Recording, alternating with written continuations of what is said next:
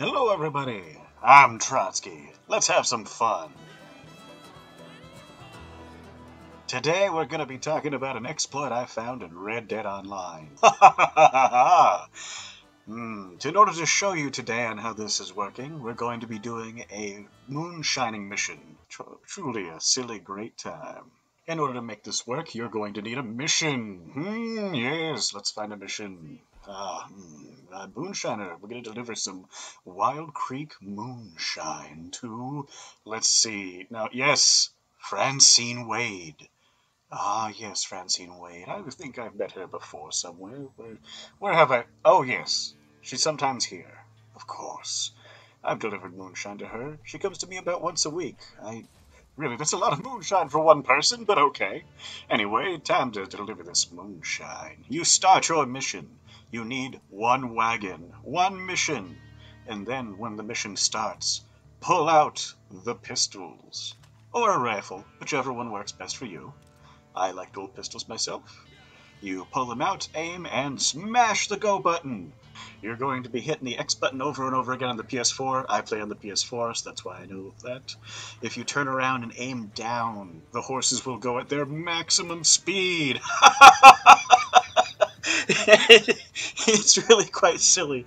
Uh, they'll they'll just go to the oh, there's a guy in the way. Okay, this is one of the problems. If there's a guy in the way or something, yes, go away. Have a great day, sir. I don't wish to mess around with you.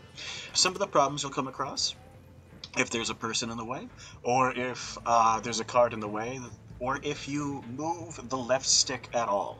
In order to make this work, you can't touch the left stick, because the second you tell the horses to do anything, they just start doing whatever in the world they want, and it kind of breaks it. Uh, but while you turn around and look down, you can also mess with the revenue agents, which is kind of fun for moonshining because I enjoy, I really enjoyed the missions for moonshining. People who normally would just run and shoot wildly and no one would really get hurt was turning into a bloodbath and you see how that gets resolved. And it's a really neat mission set, so I highly recommend it. Here we are blowing through this revenue station. keep in mind, I'm not telling the horses to do anything. They're just going on their own, and as long as you keep mashing the button, you can go ahead and turn this into an on-rail shooter. Yes, indeed. I think it's fun to try to not kill them. It gives a big, oh, look at them Duke boys uh, mentality. Uh, this works for Crypt missions, anything that's a cart and a mission. I haven't tried in single player yet.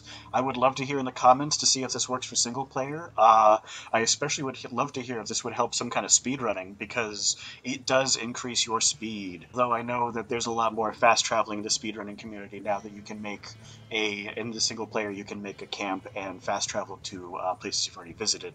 So that makes that a little different. Here we are. I'm gonna go ahead and deliver this out.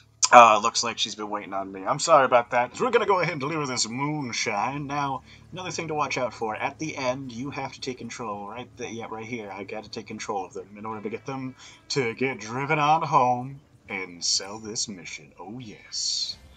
Thank you for watching and have a great day.